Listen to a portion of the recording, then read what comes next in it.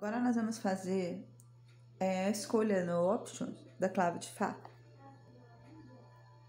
Deixei também no mais lento, aí eu clico aqui, coloco clave de Fá. Opa! Pronto.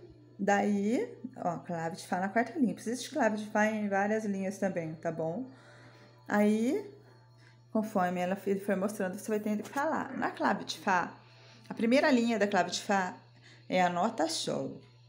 A primeira linha lá embaixo, certo?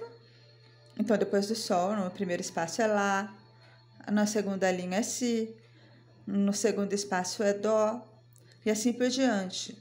Ou você pode fazer também, para você poder ler as notas na clave de Fá. Você vê o nome da nota na clave de Sol e sobe três a partir do nome dela. Por exemplo, se a nota na clave de Sol for Lá, na clave de Fá vai se chamar Dó, tá bom? Bom, lá vamos nós. Vamos fazer joguinho. Aí eu volto e jogo. Eu vou começar no level 1.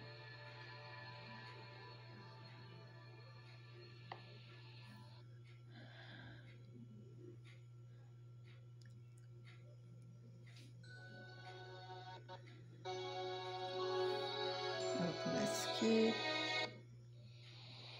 Olha lá, já tá mostrando que é Si na clave de ó. Si de novo, Dó, Ré, Ré, Dó.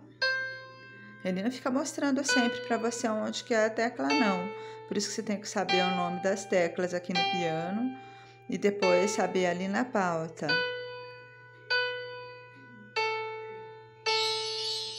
Como eu fui devagar, tá bom, até que ganhei três, né? Até que tô indo bem.